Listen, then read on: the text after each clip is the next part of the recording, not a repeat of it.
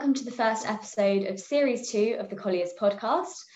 Today, I'm being joined by Ed Dixon, who currently heads up ESG at Aviva Investors across their real assets platform. And he previously worked as the Sustainability Insights Director at Landsec. As a starting point, it'd be good to kind of talk through how you got into the role that you're in now. Um, and yeah. Well, if we if we wind the clock back uh, by about ten years, um, I've been working in real estate for quite a few years. That was sort of um, 2008, 2009. Um, I'd been working in, in construction as a project manager. And I was assigned to a project. It was Marks and Spencer Cheshire Oaks, which is uh, down near Chester in Ellesmere Port. And it's a, a beautiful building that's constructed out of glulam timber and it's sort of you know hemp filled walls and beautiful landscaping and green walls everywhere. It's a really genuinely beautiful sustainable building. And i was appointed to that project as a junior project manager and, and um, i really just got into it from there. I, I saw how sustainable buildings can make people really happy you know the people that work in that store the people that visit there um, to shop on the weekends. They, they absolutely love it. The schools that, that, that are nearby love visiting it to find out more about the building. And I think that just that made, made me just fall in love with uh, with with sustainable buildings. And then it all kind of spiraled from there. So um, I did a, a, few years working on that project. Um, then did some consulting in infrastructure, um, and then got the, the role at Landsec and did around four years with them. And I think after a while, I realized that um, I wanted to get really to the heart of, of, of, the problem. And I think money is the heart of the problem. You know, money makes the world go round, and, and that's um, the big thing that affects a lot of the trends and a lot of the the, the, the, effects of the climate crisis that we're seeing around us. So Aviva was definitely the place to be. You know, asset management um, hold a lot of power um, in the system that we operate in. So I wanted to work for a big asset manager. The role came up at Aviva, and here we go. That was uh, nearly a year and a half ago now. Has there been a big change moving from Landsec to Aviva? Yeah, massive. So the difference between the listed real estate side and, and the, the, the asset management side is enormous. I think yeah. in listed real estate, you know, it sort of seems so simple now. You've got one business, you know, you've got 100 assets, uh, nice and simple, you know, long hold assets, long term investment, pre- pretty straightforward um, tend to be bigger lot sizes as well, which just mean that you know you've got you've got less to do, right, because there are less assets. Yeah. Whereas with Aviva, more assets for starters in real estate, but then you've also got the fact that it's a real assets platform. So you've got six, uh, seven different investment desks, um, six on top of the real estate desk that, that you know the Colliers team would would know us from. Um, yeah. And that's everything from kind of private debt through to infrastructure, through to real estate debt and everything else in between. So it's a far more complex organization. And then below that level, you know, you've, you've got, you know, in, in scores of, of, of different funds. Um, so, so many different entities, and you're trying to balance the interests of those different entities across the business. So a much more complex environment to operate in is the main difference, I'd say. Okay. And just going back a step, you said um, that you sort of were initially interested by the sort of sustainable building side, sustainable development is that something that you're doing a lot more of now? Yeah, definitely. I mean, it's the challenge is so different in asset management, right? Because we're not dealing with uh, a small number of probably quite sustainable buildings, which some of the kind of smaller, more high quality um, operators. So your kind of Landsec, Great Portland Estates, British Land, they tend to have a smaller number of, of more sustainable, almost more prestigious buildings. Whereas asset managers have got a huge variation. You know, we deal with everything from industrial sheds through to hotels through to, um, to much smaller uh, lot size off office buildings. So we're dealing with a big variation. And actually, that's where a lot of the challenge is you know, yeah. um, brand new, pristine, you know, BREEAM outstanding buildings. That's not the challenge. The challenge is to get the existing building stock, you know, the, the, the majority of building stock in the UK and Europe, to get it from where it is now, which is not performing very well, to performing much, much better and fundamentally producing less carbon.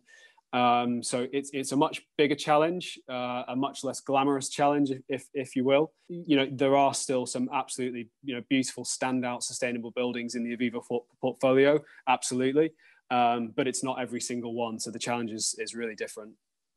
And do you think that there's been a change um, in perspective to, I guess, social and corporate responsibility um, in recent years? Yeah, definitely. I think the biggest change that we've seen over the last decade, decade or so is the fact that businesses just can't hide anymore.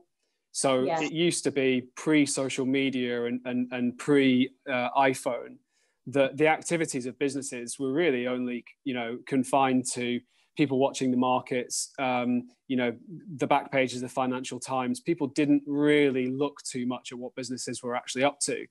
But now that you can get news feeds, you know, delivered straight into your inbox every morning, you can open up your your iPad whilst you're sitting in bed and having breakfast or whatever, and you can you can find out very quickly and very easily exactly what companies are, are up to. And I think that transparency is is now there universally really and that's really really changed um, people's expectations of companies you know and that spreads into the media i think the media are becoming a lot more adept in um, holding companies to account when they when they do mess up and when they are acting not in, in the interest of, of their stakeholders so i think that's changed a lot and i think that means that there's a lot more focus on good governance you know companies being yeah. well run and that extends into our world you know real estate managers managing their portfolios in the right way and on creating social outcomes for for society you know if you're not fundamentally if you're mistreating your supply chain or if you're not acting in the best interest of the communities that surround your assets then I think you'll you know you'll be you'll be found out and hauled over the coals for it, which is I think is a really good thing. What kind of things are you pushing at Aviva on the sort of sustainability side? The number one thing I would say that we're focused on at the moment is transition. Yeah, so this is what I talked about before. The challenge is not producing beautiful one-off new sustainable buildings. That's a great thing to do if, if you want to make money, absolutely. But it's not the it's not the, the real lion's share of the challenge. Um, so we're focused really on, on the climate transition. So whether you, we're talking about real estate equity, you know, a portfolio of 350 buildings across the UK and a growing portfolio in Europe, or whether it's real estate debt, you know, where we're lending against hotels or, or, or industrial sites um, or whether it's into infrastructure where we're directly building um, renewable energy infrastructure ourselves, or um, whether we're funding that through infrastructure debt, really the focus has to be on transitioning away from fossil fuels, um, oil and gas, and moving toward renewable energy um, technologies. And it has to be on buildings transitioning away from being, uh, you know, high, highly carbon emitting um, assets through to much more uh, efficient buildings that, that produce less carbon emissions. That is the, the number one challenge. And that manifests in a couple of ways. You know, it, it's both the way that we allocate capital, you know, we need to be on top of the way that our investment teams originate new deals and, and look for, for new opportunities. But we also be, need to be on top of the way that those come through our investment committees and the approvals that they get so that we're seeing the right money going towards the right sort of solutions but also and crucially for real estate you know we need to be managing our portfolio in the right way too. And that means putting resources toward the right capex spending you know the right sorts of projects the right sorts of disposals if we're seeing assets that actually don't fit our plan long term.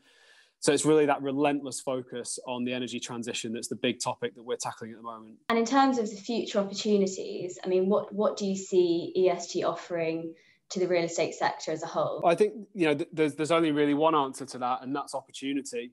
So what I've heard a lot, you know, I've, I've been I'm 36, nearly 37 now, and I've been working on and off in real estate since I was 16 in in in in one way or another. So that's 20, 21 years of experience, and what I've seen since the sustainability movement started in the sort of mid to late noughties um, through to to now is a big shift in mindsets.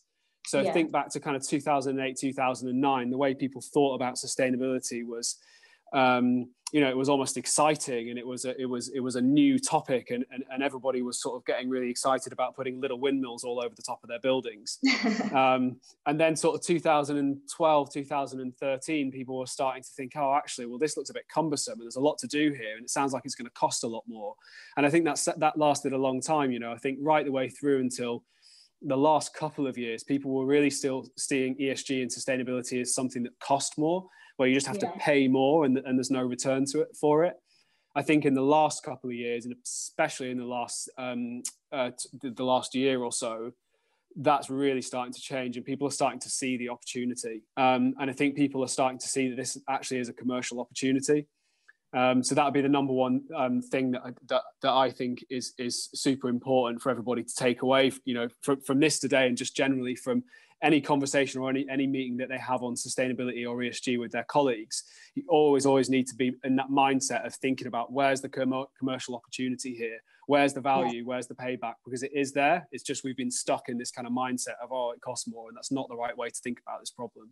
Well, we are approaching the end of our episode, but I just thought it'd be okay, if it's okay with you, we could finish on some quick fire questions. Um, Just a couple. So, um, if you could replant a forest or regrow a coral reef, what would be your choice? I would definitely replant a forest. Trees, we've lost our connection to trees. we need we, we need to refind it. I think um, you know fundamentally this is going to be something that's crucial to, to, to the recovery of the of the planet. Um, yeah. We need more trees. Um, we, we, we, you know, we, we need a, a, a nice, uh, pleasant, more pleasant environment to live in, and trees create that on multiple different levels in cities, you know, in rural areas. So definitely trees. Okay. Um, and if you could switch 100 homes or 100 vehicles to clean energy? Mm, that's a good question. I'd have to go with homes, given that that's what we're trying to, to do at the moment, yeah. is to convert buildings to, to, to become more sustainable. Um, yeah. I think consumer preferences in electric vehicles are starting to take over now.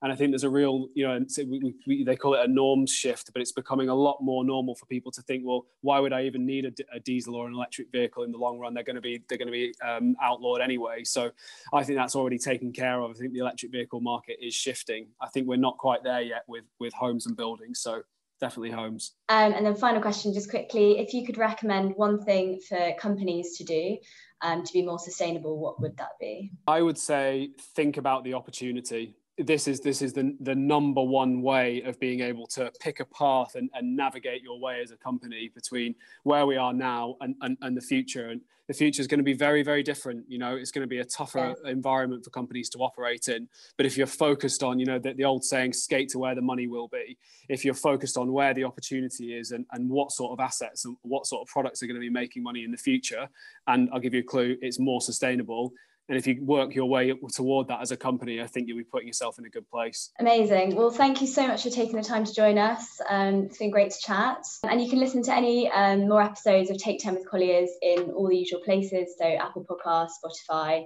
Um, and to find out who we'll be talking to in the next episode, please check out our LinkedIn, Twitter, and Instagram.